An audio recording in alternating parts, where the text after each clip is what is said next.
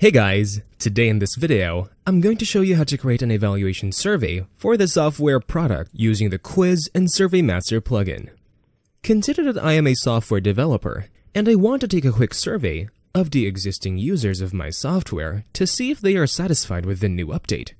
Also, I need to ask the users for any improvements if anything could be added to my software. So, let's create an online survey for this scenario.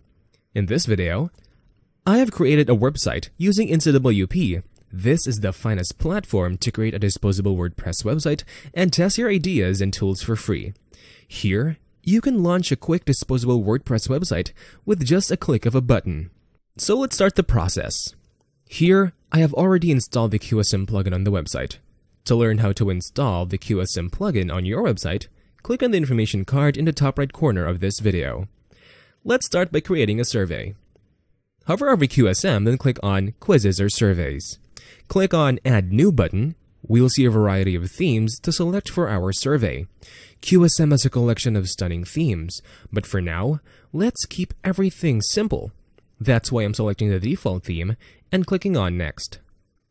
Now, on the quiz setting page, we get an option to do a quick setup of our survey. You can set a name for your survey, select what kind of form you are using, and you could set a timer for the survey. In my case, I'll set up a name for the survey and select what kind of form I'm going to use.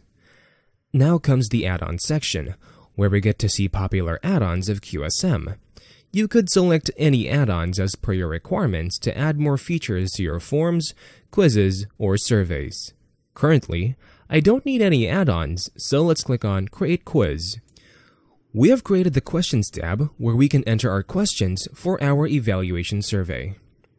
Now, as a software developer, I'd have a few important questions I'd like to hear from the users so that I could improvise the future software releases. Let's start with the first one to check if the users are happy with the security of my software.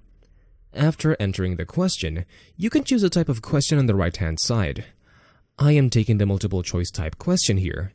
You could choose any other question types from the list of questions types available as per your question requirements, like your question requires an answer in choices, numbers, text, form, or any other type. I've entered my question in the question box, and now I'll be adding some options here for the users to select. I am making the question as required so that the user must answer this question and then move to the next one. You can decide if your question is important to answer or not. Now, then click on Save Question. Our first question is saved. Let's click on Create a New Question at the bottom of the Questions tab to create a new question. As an alternative, you could even use the Duplicate Question button next to the Edit button to duplicate the question and edit the next question as per your plan.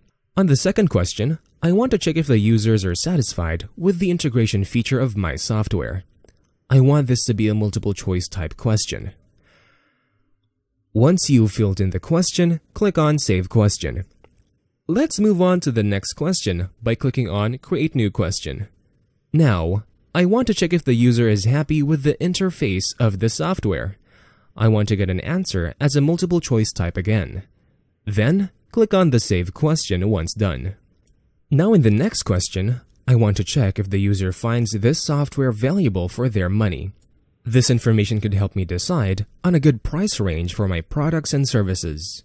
For this kind of question, you could even select the question type as polar, where a slider will appear to the user so that the user could select the answer by dragging the slider button to their desired answer. For now, I am repeating the same process as we did for the last question. So, Let's create the last question.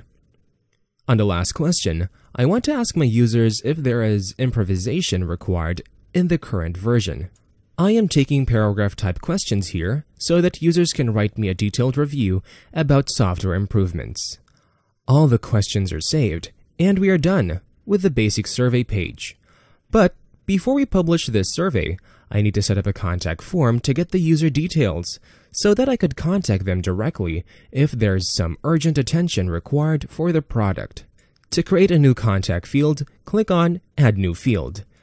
Select the field type as a small open answer and label it as Name. Select the Use For section and select Name there.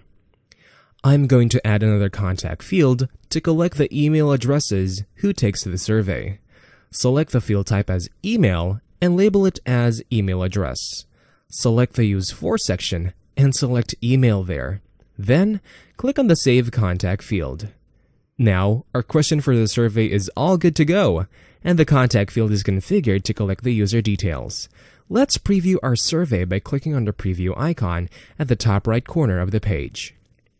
As you see, we have successfully created a software evaluation survey, and it works just right. That's all for this video. Let us know in the comments how can QSM plugin be used as. Stay tuned for new tips on using QSM plugin. Until next time, stay safe. Bye-bye.